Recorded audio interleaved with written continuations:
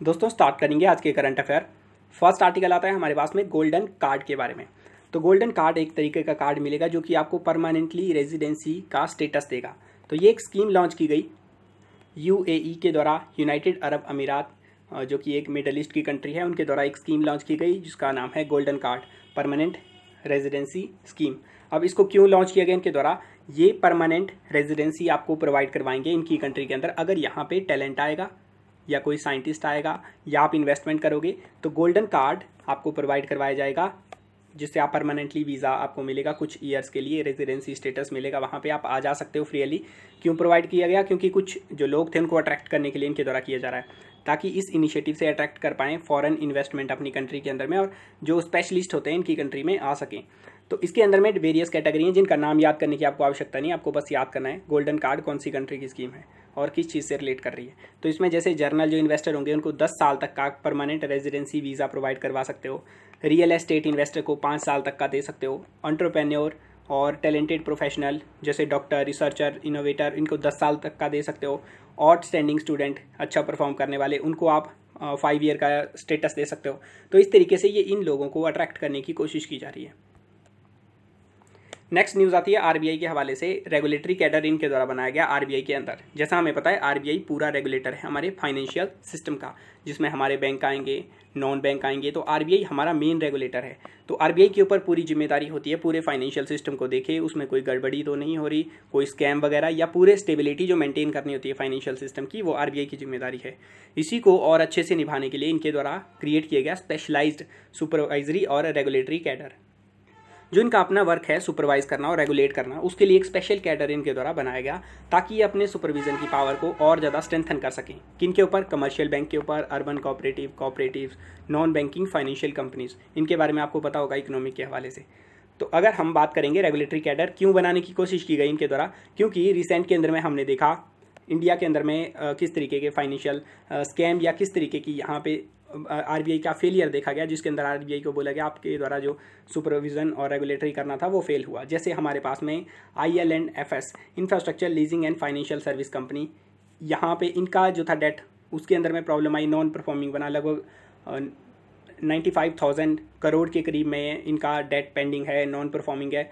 तो वो इशू आया। अब इसमें आरबीआई को पूछा गया कि आपके द्वारा क्यों ऐसा किया गया, क्यों आपको पहले इन बातों के बारे में नहीं पता चला? आईसीआईसीआई बैंक का लोन इशू का आया, जिसके अंदर में चंदा कोचर के ऊपर कन्फ्लिक्ट ऑफ़ इंटरेस्ट का इल्ज़ाम लगा।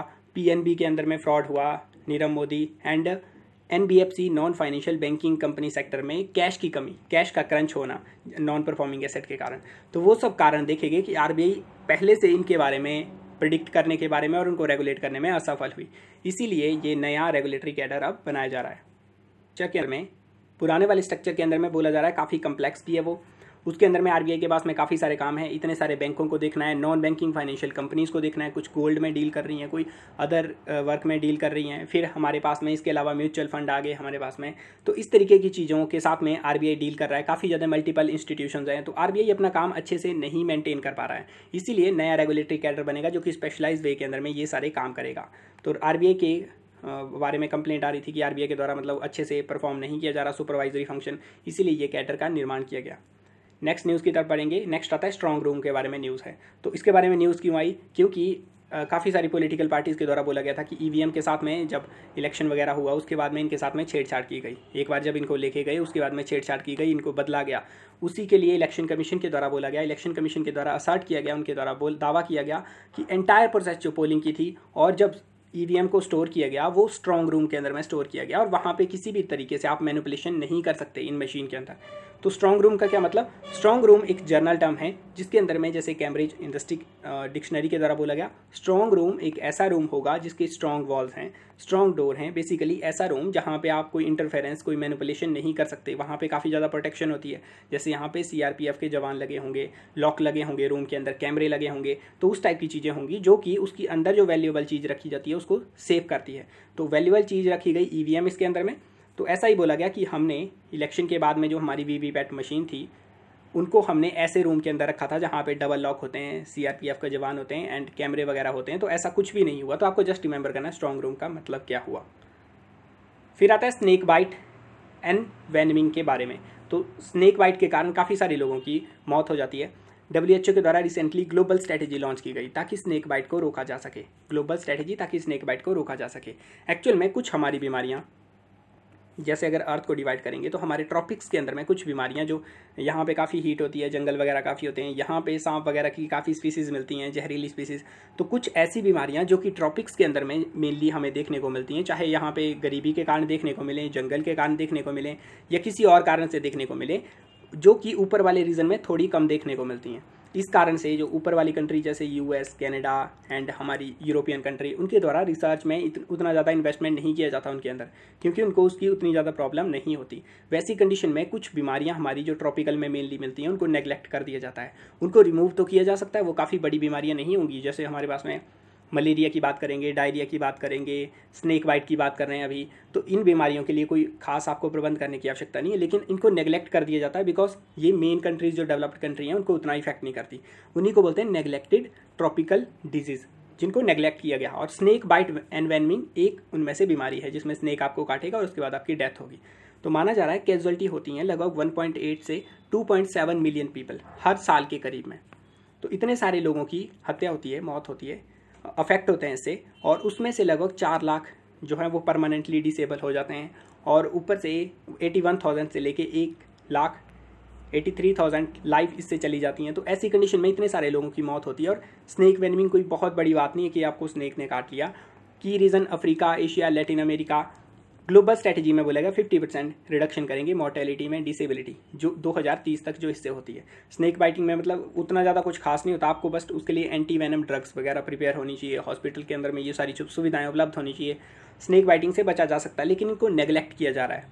ये इसमें मेन मुद्दा आ रहा है। तो डब्ल्यू ने डब्ल्यू एच ओ ने टारगेट रखा इसके लिए और बोला गया इसके अंदर में टारगेट को पूरा करने के लिए हम एंटी वेनम ड्रग्स बनाएँगे। दूसरा, नई रिसर्च करेंगे ताकि नया ट्रीटमेंट आ सके हमारा स्नेक बाइट से रिलेटेड नेक्स्ट न्यूज़ आती है सी एफ़ सी इलेवन के बारे में। तो न्यूज़ को देखने से पहले हम देख लेते हैं सी एफ़ सी के बारे में या मॉन्ट्रियल प्रोटोकॉल के बारे में। तो मॉन्ट्रियल प्रोटोकॉल को साइन किया गया था 1989 के अंदर में। उस टाइम ओजोन लेयर जो कि स्टेटोस्फीयर में होती है, जो कि हमें रेडिएशन से बचाती है यूवी रेडिएशन से बचाती है उस काफ़ी ज़्यादा डिप्लीशन उसमें देखी गई थी। उसी कारण इस प्रोटोकॉल को प्रोटोकॉल की बात होती है और इस प्रोटोकॉल के अंदर बोला गया था कि हम कट करेंगे ऐसे सब्सटेंसेस जो कि ओजोन को डिप्लीट करते हैं और पूरी अर्थ से हम उनको रिमूव करेंगे। और इस प्रोटोकॉल ने माना जाता है कि सबसे सक्सेसफुल प्रोटोकॉल माना जा सकता है इसको एनवायरमेंट के लिहाज से। 1989 में ये फोर्स में आया था। 197 पार्टी थी और ये सारे मेंबर जितने भी यूएन के मेंबर थे, सबके द्वारा रेटिफाई किया गया था और इसी को बोला जाता है यूनिवर्सली रेटिफाइड प्रोटोकॉल है यूएन की हिस्ट्री के अंदर में सब लोगों के द्वारा इसको रेटिफाई किया गया। तो काफ़ी ज़्यादा उसके बाद में सक्सेस की बात करेंगे तो काफ़ी सक्सेसफुल भी हुआ। इसने फ़ेज़ आउट किया। लगभग 95 परसेंट जो ऐसे सब्सटेंस जो कि ओजोन को डिप्लीट कर सकते थे, उनको फ़ेज़ आउट किया। उन्होंने लेस देन 30 ईयर में। तो वर्ल्ड के अंदर में सबसे सक्सेसफुल एनवायरमेंट के लिहाज से सबसे ज़्यादा रेटिफाइड हमारा प्रोटोकॉल आता है, जिसका नाम है मॉन्ट्रियल प्रोटोकॉल इसके अलावा आपको डिटेल में इसके बारे में और ज़्यादा स्टडी करनी पड़ेगी। नेक्स्ट की गाली जो अग्रीमेंट आया, उसके बारे में स्टडी करनी पड़ेगी तो ये तो एनवायरमेंट पोर्शन में आएगा। लेकिन न्यूज़ क्यों आ रही है इसके बारे में? ओजोन डिप्लीटिंग सब्सटेंस में कुछ केमिकल्स हैं, जिनको ग्रुप करते हैं हम सी एक ग्रुप होता है। क्लोरोफ्लोरोकार्बन उसके अंदर में ग्रुप करते हैं। उसी में से एक ग्रुपिंग का हमारा प्रोडक्ट है C F C eleven recent research report के अनुसार आया कि चाइना कंटिन्यूसली इंक्रीज कर रहा है इसका use C F C eleven का यूज़ इंक्रीज कर रहा है, जो कि वायलेशन है मॉन्ट्रियल प्रोटोकॉल के खिलाफ। तो सी एफ़ सी जिसका फुल फॉर्म है हमारे पास में ट्राई क्लोरोफ्लोरोमिथेन सी एफ़ सी हमारा क्लोरोफ्लोरो अलग चीज़ है, लेकिन जो हमारा ट्राईक्लोरो फ्लोरोमिथेन है, ये इसी का सब पार्ट है सी एफ़ सी का पार्ट है। तो इसी को हम फ्रीओन भी बोलेंगे C F C eleven R eleven भी बोलेंगे, और ये क्लास ऑफ़ कंपाउंड है जिनको क्लोरोफ्लोरोकार्बन बोलते हैं। तो क्लोरोफ्लोरोकार्बन जो क्लास ऑफ़ कंपाउंड है, उसी का एक सब क्लास के अंदर आएगा ये। और इसको वाइडली यूज़ किया जाता है रेफ्रिजरेंट में ए के अंदर यूज़ करते हैं फोम मेकिंग में, जैसा सीएफसी को यूज़ करते हैं सीएफसी के ही अंदर आ रहा है तो इसी को सेम तरीके से यूज़ करेंगे। तो इसको एग्री किया गया था कि मॉन्ट्रियल प्रोटोकॉल के अंदर में कि इसको फ़ेज़ आउट कर दिया जाएगा। लेकिन की फाइंडिंग रिपोर्ट के अंदर मिली। हालाँकि चाइना के द्वारा इसको साइन किया गया है रेटिफाई किया गया है, लेकिन चाइना कंटिन्यूसली इंक्रीज कर रहा है इसका यूज़ जो कि वायलेशन है। और सेकंड बोला गया कि 40 से लेके 60 परसेंट टोटल जो ग्लोबल एमिशन है सी का, वो सिर्फ़ चाइना से ओरिजन हो रहा है ईस्ट चाइना से। तो यहाँ पर आप मैप में देख सकते हो ईस्ट चाइना आ रहा है हमारा। ईस्ट चाइना के अंदर 2008 से 2012 के अंदर देख सकते हो इसकी कंसंट्रेशन और उसके बाद में 2014 से लेके 2017 तक कंसंट्रेशन इंक्रीज हुई। तो चाइना वायलेट कर रहा है इसको, ऐसा बोला गया इनके द्वारा। फिर नेक्स्ट आता है हमारे पास में और फेरिया गिरेल्डी और एस फेरिया गिरेल्डी एक रिसेंट के अंदर में स्टडी पब्लिश की गई जिसके अंदर में बोला गया कि हमारा ये वाली जो आ, हमारी फंगस की स्पीसीज़ है इसका एक फॉसिल मिला ओल्डेस्ट नोन फॉसिल मिला फंगस का जिसका नाम है ऑरेस्टेरिया गिरेल्डी तो फंगस का नाम आपको थोड़ा याद रखना वैसे जर्नल में वैसे इतना कम्प्लेक्स साइंटिफिक नेम के ऊपर यूपीएससी फोकस नहीं करती लेकिन इसका साइंटिफिक नेम ही अवेलेबल है इसका सिर्फ़ फॉसिल मिला हमें जो प्रेजेंट था। तो अब क्या याद करना है आपको? एक तो फंगस क्या होती है? उसके बारे में थोड़ा पता होना चाहिए। तो अगर फंजाई की बात करेंगे तो ये एक ग्रुप ऑफ़ ऑर्गेनिज्म है, जिनको हम यूकारियोट बोलेंगे। तो यहाँ पे अगर हम देखेंगे, दो तरीके के सेल होते हैं। एक होता है प्रोकारियोट दूसरा यूकारियोट प्रोकारियोट और यूकारियोट में बेसिक डिफरेंस ये है कि इनके न्यूक्लियस के अंदर में यहाँ पे जो न्यूक्लियस होता है, उसके बाहर कोई मेम्ब्रेन नहीं होती। कोई मेम्ब्रेन बॉन्डेड न्यूक्लियस नहीं होता, कोई न्यूक्लियर एनवेल्प नहीं होता उसमें।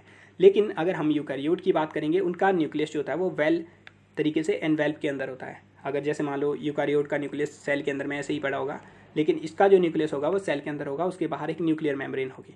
तो वो बेसिक डिफरेंस आता है जिससे इन दोनों सेल को डिफ्रेंशिएट करते हैं। अब ह्यूमन की बात करेंगे तो ह्यूमन कौन से सेल में आता है? यूकारियोट के अंदर ह्यूमन आता है, ये थोड़े एडवांस सेल है। अब फंजाई की बात करेंगे तो इनके एग्ज़ाम्पल अगर लेंगे प्रेजेंट डे में तो ये आपको राइट साइड में दिख रहा है, ये भी एक फंजाई का एग्ज़ाम्पल है जिसको खाया जाता है। और इसी तरीके से ये फंजाई एक यूकारियोट है और इसमें और प्लांट में ये डिफरेंस है बिकॉज़ हमें पता है कि ये फोटोसिंथेसिस नहीं करती। फंजाई जो है वो फोटोसिंथेसिस नहीं करती तो मतलब अपना खाना खुद नहीं बनाती। इसीलिए ये खाना शक करेगी नीचे से। एंड फ़ंक्शन की बात करेंगे, ये डिकम्पोजिशन में हेल्प करती है। फंजाई और बैक्टीरिया मेनली डिकम्पोजिशन में हेल्प करते हैं ऑर्गेनिक मैटर के, जिनके अंदर कार्बन प्रेजेंट है प्लांट या एनिमल उनकी डिकम्पोजिशन में। तो अब हमें मिली ऑरस फेरिया गिरेल्डी एक फॉसिल मिला, बहुत ही पुराना ओल्डेस्ट नोन फॉसिल और ये जो था लगभग 900 मिलियन से लेके एक बिलियन ईयर्स पुराना हो सकता है।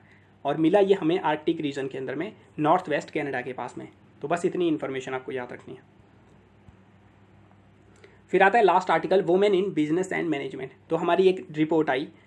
यूनाइटेड नेशन की एक स्पेशलाइज्ड ऑर्गेनाइजेशन है इंटरनेशनल लेबर ऑर्गेनाइजेशन इनके हवाले से एक रिपोर्ट आती है। रिपोर्ट का नाम था women in business and management अब रिपोर्ट के अंदर स्टडी किया गया वेरियस बिज़नेस एंड मैनेजमेंट के अंदर वुमेन को। और रिपोर्ट के अंदर क्या बोला गया कि कंपनी जिनके अंदर जेंडर डाइवर्सिटी है, जिनके अंदर वुमेन की पार्टिसिपेशन को इंक्रीज किया गया स्पेशली टॉप पोजिशन के ऊपर, वहाँ पे परफॉर्मेंस बेटर देखने को मिली हाइयर प्रॉफिट देखने को मिले, और बेटर इकोनॉमिक ग्रोथ वहाँ पे देखने को मिली। तो रिपोर्ट के अंदर क्या क्या बोला गया की फाइंडिंग क्या क्या है? कंपनी ने काफ़ी अच्छा परफॉर्म किया, उनके प्रॉफिट जो थे वो जहाँ पे वुमेन को अच्छा प्लेस दिया गया। प्रॉफिट ज़्यादा हुए पाँच से लेकर बीस परसेंट तक प्रॉफिट उनके इंक्रीज़ हुए। फिफ्टी सेवन परसेंट कंपनी के द्वारा बोला गया कि हमारे जब हमने वोमेन को आ, की संख्या को इंक्रीज़ किया तो जो न्यू टैलेंट था उसको अट्रैक्ट करने और रिटेन करने में काफ़ी हेल्प मिली हमें। उसके बाद हमारी 54 परसेंट कंपनीज़ जिनका सर्वे किया गया इनके द्वारा बोला गया वुमेन की पार्टिसिपेशन के कारण क्रिएटिविटी इंक्रीज हुई इनोवेशन इंक्रीज हुई ओपननेस इंक्रीज हुई और ये काफ़ी अच्छा था। इंडिया की भी अगर बात करेंगे इंडिया और चाइना के बीच में अगर डिफरेंस एक क्रिएट करेंगे तो मेन आता है उसमें वुमेन की पार्टिसिपेशन का। इंडिया की वुमेन पार्टिसिपेशन काफ़ी पुअर है, लगभग ट्वेंटी फोर परसेंट के करीब। और काफ़ी मतलब वर्क फोर्स के अंदर में काफ़ी ज़्यादा ख़राब कंडीशन बोल सकते हो। चाइना की लगभग सेवेंटी के करीब होगी। तो इनकी ट्वेंटी फोर अगर ट्वेंटी फोर से हमारी फिफ्टी तक पहुँचती है तो इंडिया कंपेयर कर सकता है। इंडिया डबल डिजिट ग्रोथ के अंदर जा सकता है। टेन से ऊपर जा सकता है। अगर वुमेन की कंडीशन को इम्प्रूव किया जाए।